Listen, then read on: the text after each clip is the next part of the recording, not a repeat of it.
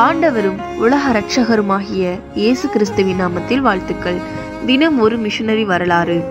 இது போன்ற மிஷனரியின் வாழ்க்கை சரித்திரங்களை பற்றி உங்களிடம் பகிர்ந்து கொள்வதில் மிகுந்த மகிழ்ச்சி அடைகிறோம். இன்றைய மிஷனரி பீட்டர் ஜான்சன் கிளிக். பிறந்தது பனிரெண்டு மூணு ஆயிரத்தி எழுநூற்றி தொண்ணூற்றி ஆறு. மறைந்தது எட்டு பனிரெண்டு ஆயிரத்தி எண்ணூற்றி எழுபத்தி ஏழு. ஊர் நியூ ஜெர்சி. நாடு அமெரிக்க ஐக்கிய நாடுகள். தரிசன பூமி ஹவாய் தீவுகள் மற்றும் ஜப்பான். குலிக் என்பவரின் குடும்பம் அமெரிக்க புரோட்டஸ்டன்ட் வெளிநாட்டு ஊழியங்களில் நன்கு அறியப்பட்ட ஒரு குடும்பமாகும். அவர்களில் பலர் ஹவாய் ஸ்பெயின் மற்றும் ஜப்பான் போன்ற வெவ்வேறான இடங்களுக்கு பயணம் செய்தனர். பீட்டர் ஜான்சன் குலிக் மிஷனரிகளின் பெரிய பரம்பரையை தொடங்கிய குலிக் குடும்பத்தின் முற்பிதாவாக விளங்கினார். இருபது வயதில் இயேசுவை ஏற்றுக்கொண்ட பிறகு அவர் வெளிநாடுகளில் தேவனுடைய ராஜ்யத்தின் முன்னேற்றத்திற்காக தனது வாழ்க்கையை அர்ப்பணித்தார்.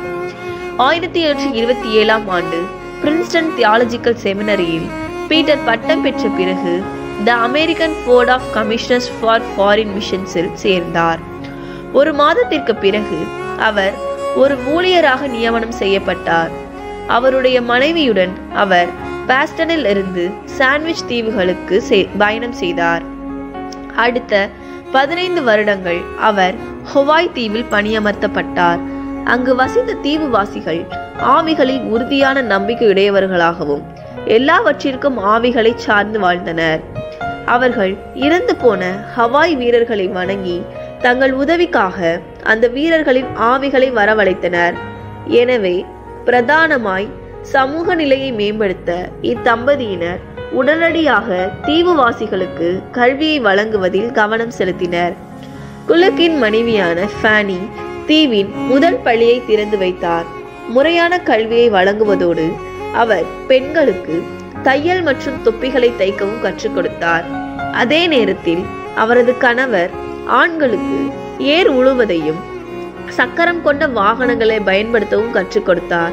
பின்னர் அவர்கள் மொலாஹாய் மற்றும் ஒவாஹூ ஆகிய இடங்களுக்கு இடம்பெயர்ந்தனர். அவர்கள் எங்கு சென்றாலும் அவர்கள் அங்கு பள்ளிகளை நிறுவி கிறிஸ்தவ அன்பால் சமுதாயத்தை மாற்றி கிறிஸ்துவுக்காக அநேகரை ஆதாயப்படுத்தினர். குலிக் மற்றும் அவரது மனைவி இருவரும் தொடர்ந்து உடல்நல குறைவால் அவதிப்பட்டனர். பிரச்சனைகள் மத்தியிலும் அவர்கள் தொடர்ந்து முன்னேறி சென்றனர்.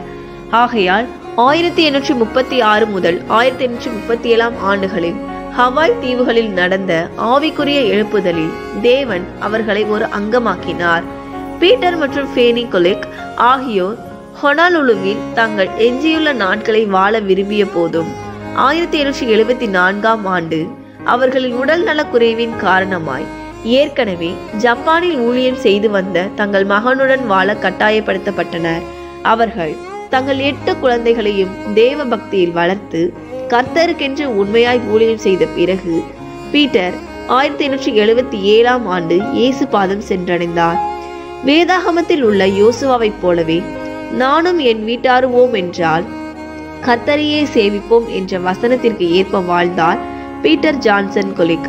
பிரியமானவர்களே நீங்களும் உங்கள் வீட்டாரும் கர்த்தரையே சேவிக்கிறீர்களா?